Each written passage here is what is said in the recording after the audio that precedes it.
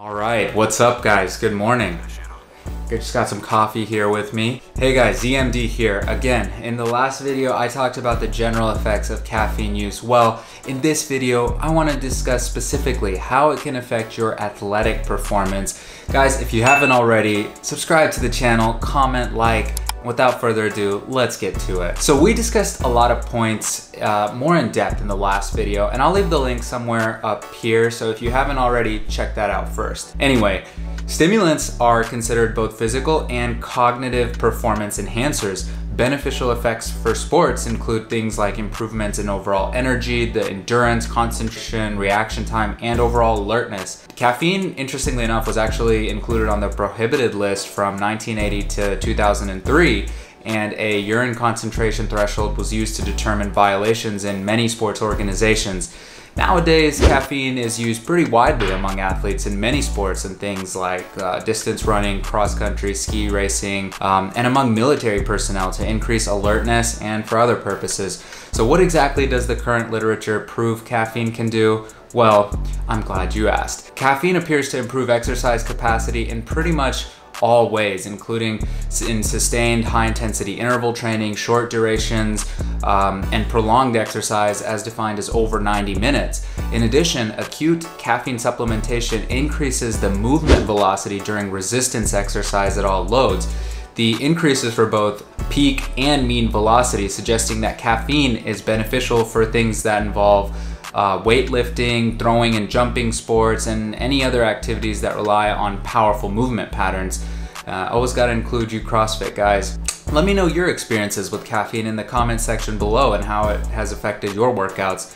So it makes sense then that caffeine supplementation is likely to have performance benefits for a wide range of sports, ranging from your long distance endurance events to quick short bursts of field and court sports that involve short intense bursts of activity.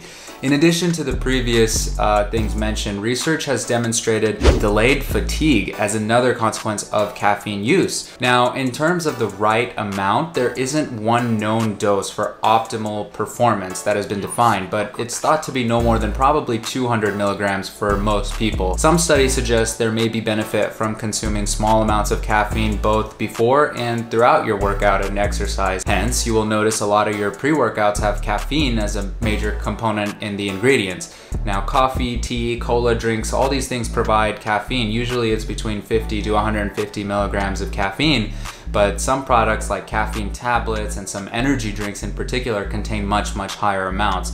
I'll put a chart up here displaying caffeine content of a large number of common beverages and foods in this following table right here. Of note, the actual caffeine content of supplements and beverages can vary substantially from what is stated on packaging and from batch to batch, so it's important to always really keep that in mind. I sometimes use C4 as a pre-workout just because there's some flavors that I really like the taste, and for example, it has 150 milligrams of caffeine. Some other common pre-workouts are listed as follows. I've noticed most of them typically contain anywhere between 50 to 350 milligrams of caffeine per scoop. So try to take a look at the label on the back of your pre-workout the next time you use it and see what you're working with. Of note, the form in which caffeine is taken doesn't appear to alter its effect. So whether you're taking, you know, a liquid, a solid, or a powder product, the efficacy isn't compromised. Caffeine is pretty quickly absorbed, uh, usually within 45 minutes, and the peak blood concentrations are seen in an hour of ingestion, with the levels and therefore its effects, you know, ranging from three to four hours afterwards. Caffeine has a complex range of actions that it helps with, including stimulation of your adrenaline release, increased cardiac and skeletal muscle inotropy or contraction, decreased perceived effort and fatigue. And that last point is very interesting. So think about that. That means that it's possible to curb a lot of your perception or reduce the effort or pain in your workouts, allowing you to possibly get in those extra couple of reps. Now, as a side note, never sacrifice form for extra reps because I don't want you getting injured. Now, what about dehydration? Can't caffeine make you dehydrated? This was a question I actually had, and after some research, I found that per this research article, Moderate daily caffeine intake doesn't appear to actually cause dehydration as was once thought, but I'm not completely sure on this and I think we may need more evidence to really be definitive on this. The effects of caffeine supplementation are variable. There's people who don't respond at all and there's some people who will have just one teaspoon and boom, they're, you know, they're up and jumping all over the walls. So it's really important that you find what kind of dosage is optimal for you and you don't get any of the unwanted side effects such as irritability, tremors, insomnia, fast heart rate, uh, even at low doses. So my suggestion is, is that it's best to start low. Again, see what works for you. And it's important to note that one other thing to consider is that after repeated use, tolerance is pretty common.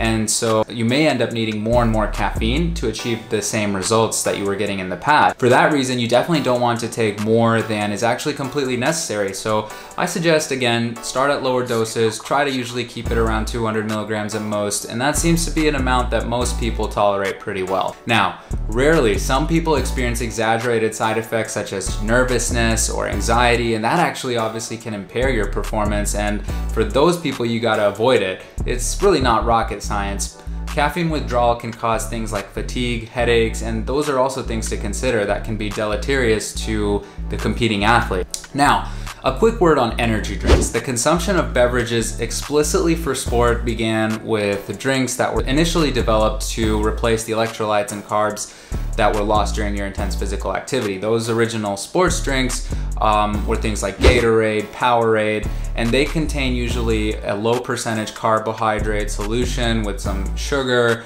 a mixture of various electrolytes, and these newer generation of energy drinks include a wide variety of different things like stimulants and other additives, you know, caffeine, taurine, B vitamins, antioxidants, sometimes trace minerals, chemicals like guarana, ginkgo balboa, ginseng, L-carnitine, sucrose, a bunch of stuff, bunch of stuff. Of note, some of these additives can actually interact with prescription medicines, so if you're taking some medications, you wanna talk to your doctor about potential adverse interactions before consuming a heavy amount of these drinks. Now, the major reported benefit from energy drinks is most likely due to the caffeine component, which we have already discussed. Some may even have some creatine and branched chain amino acids as well, and those can help with recovery and muscle protein synthesis, and we'll talk about that in a different video. Now, the amount of caffeine in an energy drink really ranges widely from approximately 50 to 500 milligrams per can or bottle, now my advice is, despite saying in the earlier study that caffeine wasn't found to be a potent diuretic, meaning it makes you pee more and makes you dehydrated, energy beverages should not be used for the purpose of rehydration because they contain a bunch of other things, a bunch of other chemicals, in addition to just the caffeine. And a lot of these things can actually cause you to potentially pee more. And so leave the rehydration component to the OG, that is water, H2O. One other major ingredient often goes unnoticed, and that is something known as sugar. Some drinks contain like 8 to 10 teaspoons of sugar, and now you are talking you should be thinking weight gain, you should be thinking blood pressure and diabetes, and you should definitely be on the lookout for that. I've said it before, young men appear to be the primary market, um, and it's very common in military personnel as well to consume large amounts of energy drinks to assist with their alertness and to reduce fatigue.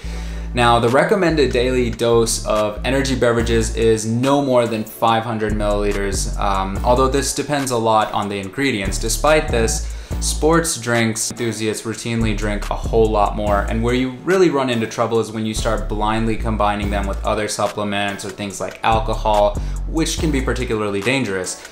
Opinions among experts differ about the effectiveness and safety of combining energy drinks with exercise to increase fat loss, but personally, I think that you should see what feels safe to you and experiment by starting out with lower amounts and seeing how you personally respond to increasing your caffeine dose. But definitely that's something that depends on so many things like your general medical profile and you should probably go over all this diligently with your doctor.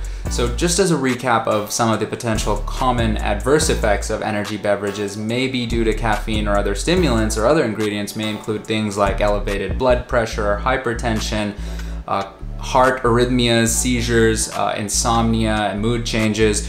And though not common, there have been reports on the FDA's website suggesting cases of things like heart attacks, convulsions, um, spontaneous abortion, kidney and liver impairment, and psych disorders that are associated with heavy, heavy consumption of energy drinks. But, but relax.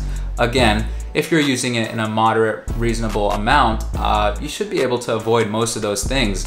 Um, but I do feel it is a responsibility to notify you that these things do exist. So as always, be careful, use your best judgment with this information and uh, I hope that helps. So anyways, guys, I really hope that you learned something in this video. Be sure to leave your thoughts in the comment section below and let me know your experience with caffeine and energy drinks. I'll see you in the next video. Remember, keep being a boss.